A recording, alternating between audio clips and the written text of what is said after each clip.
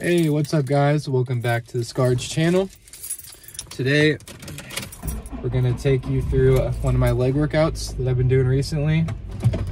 Um, so I hope you guys enjoy it. Today, uh, I wanted to go over with you my what I've been doing for my program lately in this kind of series where I train to dunk. Oh, I don't know what this guy's doing. What the hell? Did I mess up? Did you mess up? Just sitting there? Oh my gosh. Okay. Well, anyways.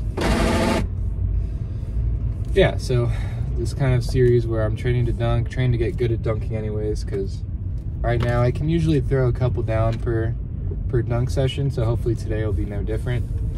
But yeah, so what I've been trying out recently is these two-a-days. And so basically what that is, if you don't know, is you work out twice in a day, right? Two a day. But the morning workout is focused on, you know, the jumping, the running, plyometric movements, um, sometimes even general joint and like care for, so like, what I mean by that is like the quad extensions to help, you know, prevent a little bit of knee pain or like tibialis raises for the front of your calves, help with the knee pain because what I'm noticing from these two days is my recovery has to be on point kind of so. The first couple two days I was doing I'm you know recovering like normal doing my red light before bed and that's about it. And I was getting fairly decent knee pain. So the past few past week or so, I would say I've been trying to, you know, do the massage gun every day, do the, uh, the hot tub after after leg days, um, just doing extra stuff here and there, doing some cupping. So doing extra stuff to make sure I get the recovery in. And I mean, at the end of the day, two days probably are the way to go, but you're just gonna have to be more serious about taking care of yourself after. I've also been doing, um, I found that doing the electrolyte little packets they have the night before a leg day. So after your upper day, before bed, just chug a electrolyte, you know, 14 ounces of water with the electrolyte packet in. And, you know, so you're hydrated for the next day um, for when you're jumping. So the jumping doesn't, you know, impact your, hurt your knees as much. But uh, so I've been trying that out lately, and it feels pretty good. I can get through my jumping workout with basically no knee pain, and then uh, weights later in the day. Sometimes there's still a struggle, but I don't know. We'll see. We'll see with time if I keep this up or not. But yeah. So, anyways, we're going to this gym and what's really nice about it is they have this, you're gonna see it, but they have this hill that you can do sprints on, and it's probably about, uh, probably about 30 yards or so, 25, 30 yards of just uphill turf you can run up.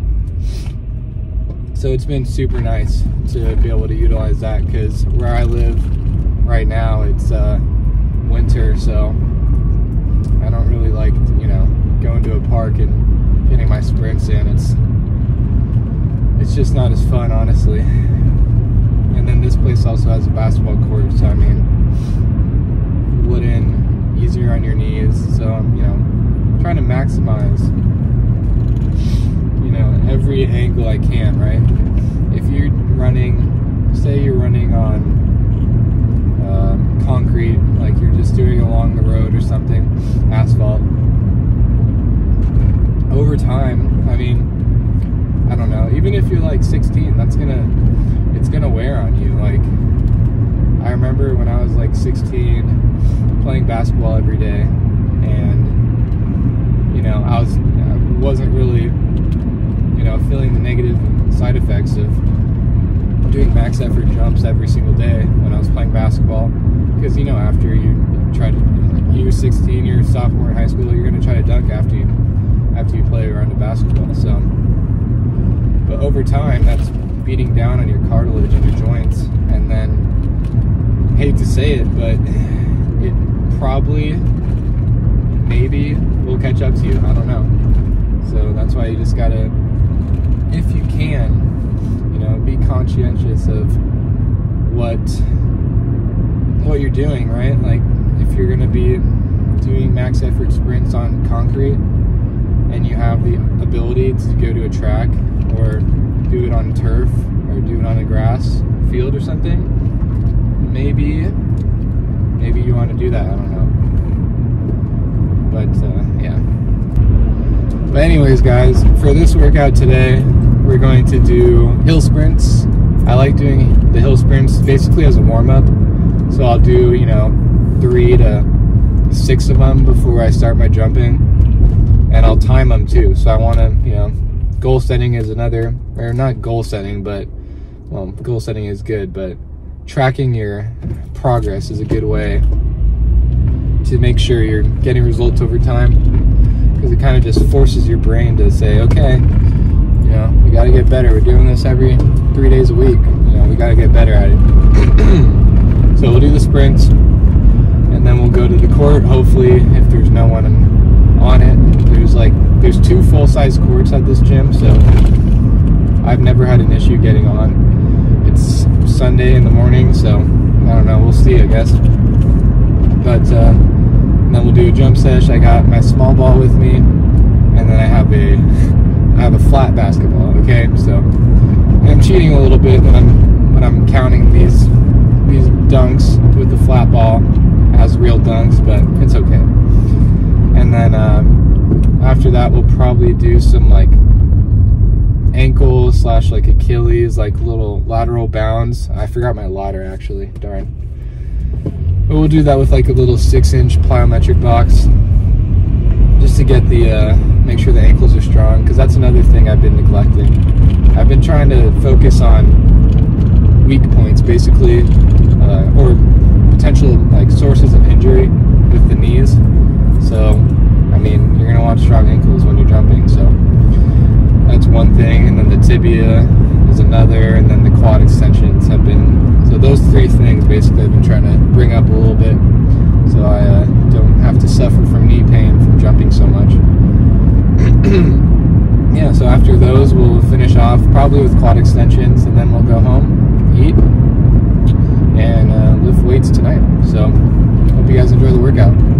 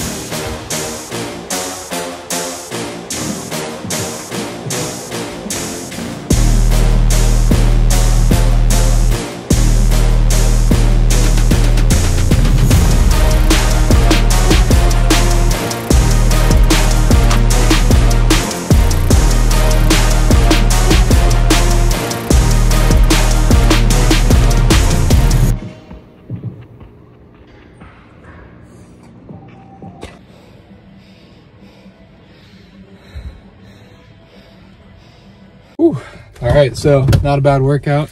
Um, in that last clip, well, second to last clip, when I tried to go up with my blue basketball, I did feel a little bit of knee pain, so I figured I should just stop it there and uh, move on to the you know, the easier stuff.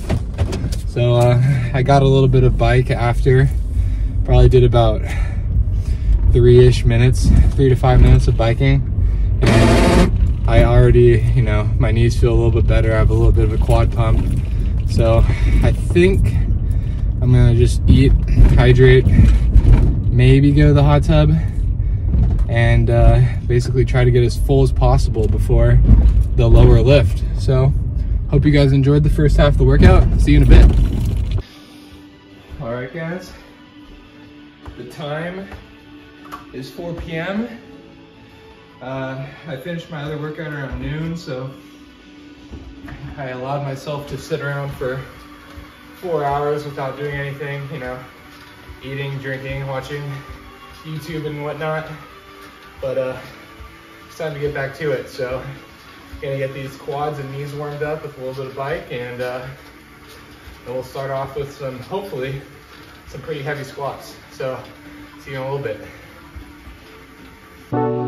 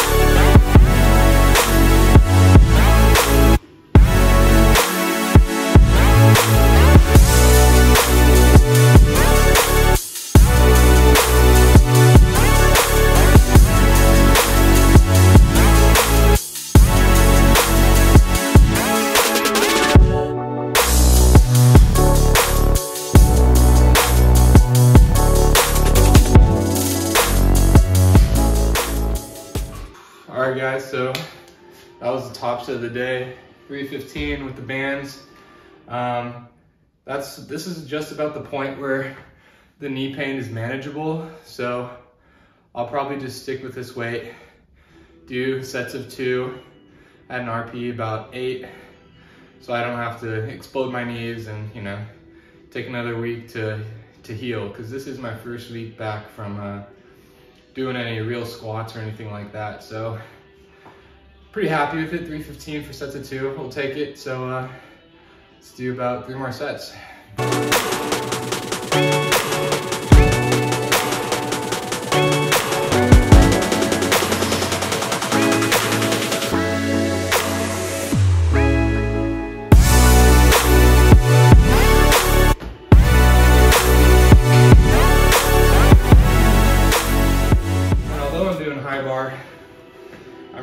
Focus on just squatting, keeping my back relatively upright, but squatting, leading with my butt, going straight back so my knees aren't really going over my toes too much because I mean, I'm already wearing squat shoes as it is. I don't want to put too much pressure on my knees, so that's what I'm focusing on right now. Trying to feel it in the hamstrings as much as possible, even though I'm doing a lot of things that make it feel in the quads. So, yeah. Another thing I just wanted to mention is that you'll notice, I don't know if a lot of people do this, but I do this all the time. I'll kind of shake out my legs and crack my knees before I squat. And for me, it just helps get everything, everything get into place. Helps me set up perfectly for a squat. So if you're ever feeling funky before a set, just shake it out a little bit and see if it helps. Probably will. Let's go.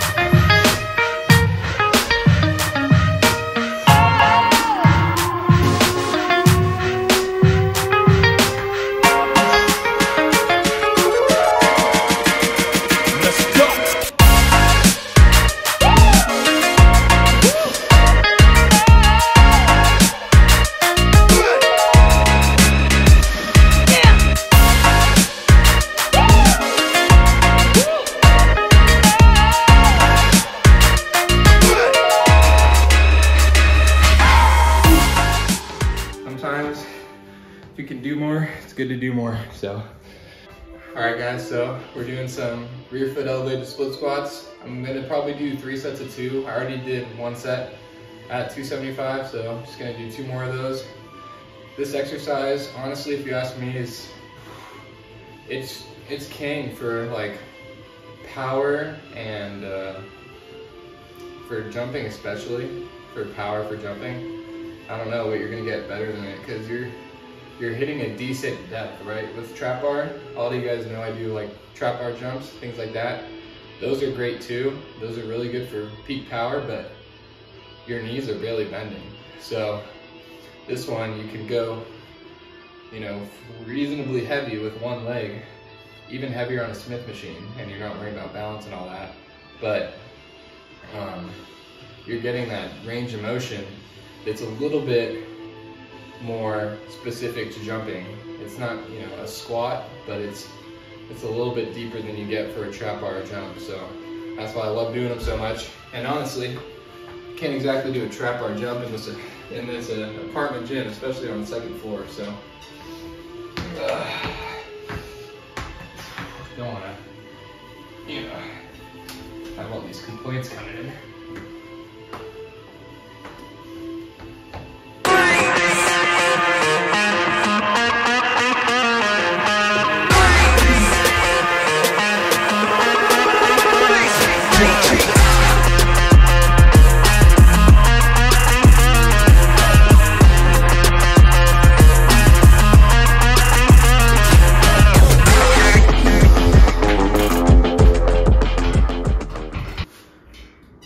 So last exercise of the day, we're gonna do some calf raises. I had a, uh, a viewer comment the other day that I could gain a few inches from doing calf raises to my vertical, so gonna have to give them a shot. But uh, realistically, I haven't been training calves that much, so I am in fact going to be trying to incorporate them at the end of the workout. So I don't know how heavy I'll get with them, but if I hit them, I'll still feel pretty good about myself. So we'll do about three or four sets of, honestly, probably to failure. Just feel a burn in them. So anyways, guys, hope you guys enjoyed the, the video. Let me know if you like the format where I'm kind of talking while I'm working out, literally right now. But anyways, guys, have a good rest of your Sunday. I'll see you next time. Peace.